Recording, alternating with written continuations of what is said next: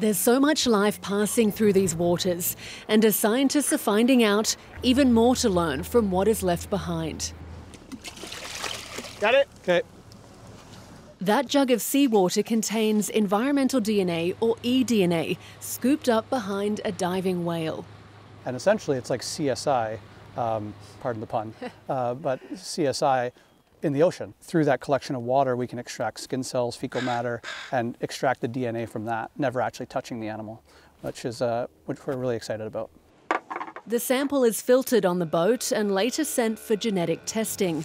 It's the first time eDNA has been used to study whales here. We know that we can sex individual whales. We can look at things like uh, the amount of genetic diversity, how populations of whales are related. Uh, we can also pot potentially look at paternity. Scientists know some of BC's killer whales are already under stress from lack of food, ship traffic, and climate change. Traditional research would also call for a sample of tissue from the whale. This approach avoids that. My greatest hope is that we cease all need to do biopsy work.